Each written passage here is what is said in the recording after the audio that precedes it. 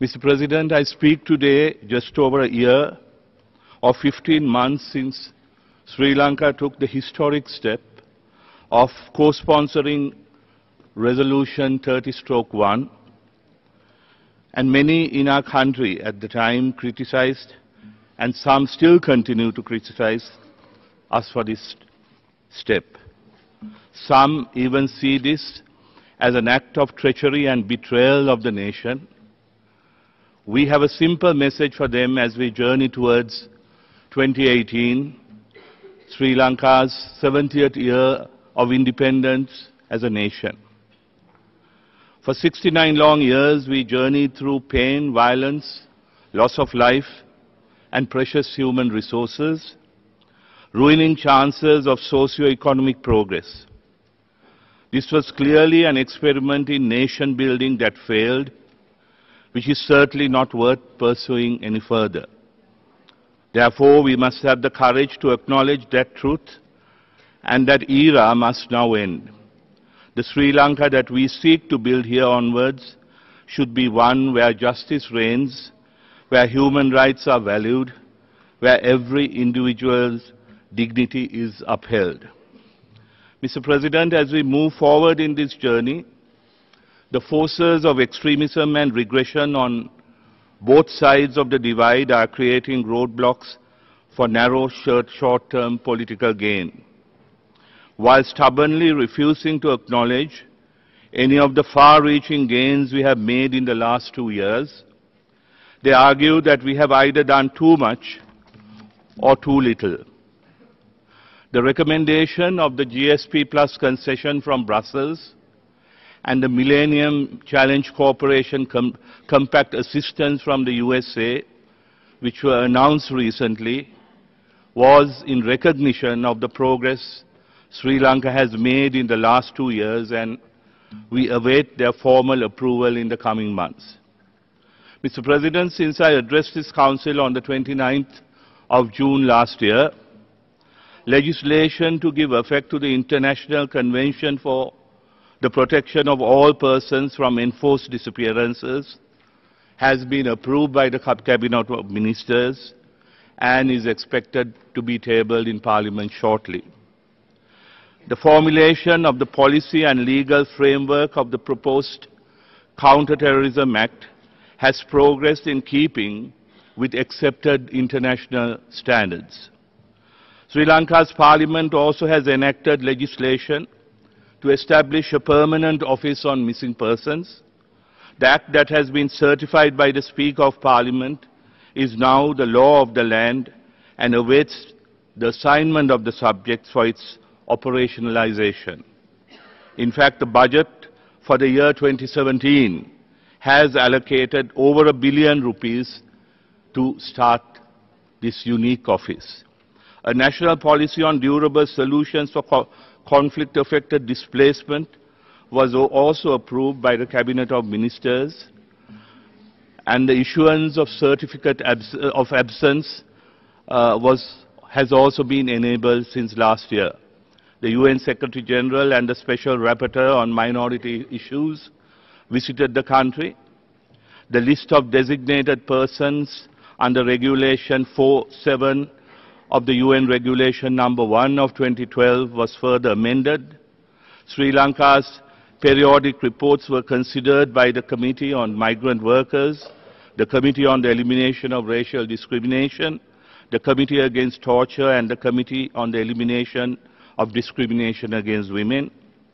Reports of the six subcommittees of the steering committee have been completed and hand, handed over to the Constitutional Assembly of Sri Lanka and the National Human Rights Action Plan for the period 2017 to 2021 has also been approved by the Cabinet of Ministers and indeed the Right to Information Act was also brought into force uh, on the 3rd of February this year.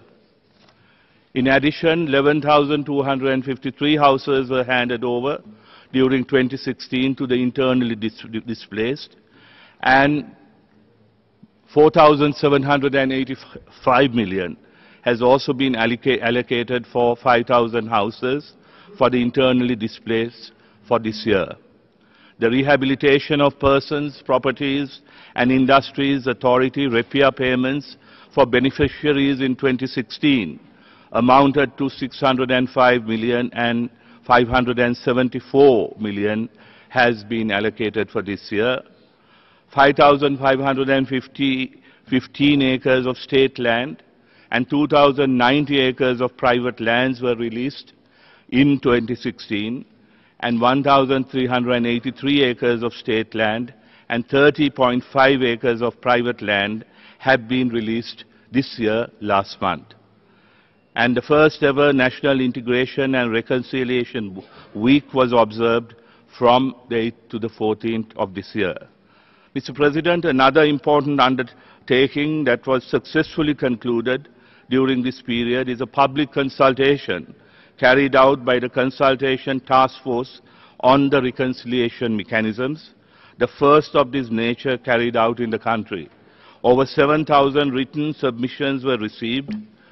The report of the task force is presently being studied in the context of designing the relevant mechanisms for truth-seeking, reparations, justice, and other reconciliation processes. We also expect the draft leg legislation on the Truth-Seeking Commission to be presented to the Cabinet of Ministers within the next two months and our resolve to bring justice to the victims of human rights violations remains firm. While taking the allegations of continuing incidents of torture seriously, it is reiterated that the government maintains a zero tolerance policy towards torture, as also demonstrated by the President's participation against uh, torture in a public rally held last year. Although the National Human Rights Commission has recently indicated to us that there is a downward spiral of incidents, even one incident of torture we believe is one too many. The Human Rights Commission of Sri Lanka, the Police Commission, the Ministry of Law and Order, and other relevant agencies are now working together to prevent and combat torture. Mr. President, the constitutional drafting process is for us both central and essential, not only for democratization, but also for ens ensuring non-recurrence of conflict. As we approach, as I said earlier, the 70th year of our nation's independence, we seek for the first time in our country's modern history to engage in this process wholeheartedly as an exercise that would unite our people who have been divided for far too long. The parliamentary process and referendum which would follow are for us imperative. Mr. President, the journey we have undertaken arising from our commitments to our people and the mandates received at elections is challenging. This may be a journey strewn with both success as well as some setbacks. In the face of roadblocks and other obstacles in the, in the day-to-day -day world of realpolitik, they may, they, there may have been certain detours from time to time, but the destination and our resolve to walk the distance will remain unchanged. Our resolve to see, see the transitional justice process through has not diminished. With the help of all our citizens in all walks of life, our friends and partners in the international community, and Sri Lankans overseas, with patience, understanding, and constant and consistent effort and perseverance, we strongly believe that we can make the reconciliation process a success and establish a progressive and united society working in harmony to take our nation toward new heights of socio-economic development. We believe that we can make Sri Lanka a shining example of a country that is prosperous, united in its diversity, upholding human rights, justice and the rule of law. I thank you, ladies and gentlemen.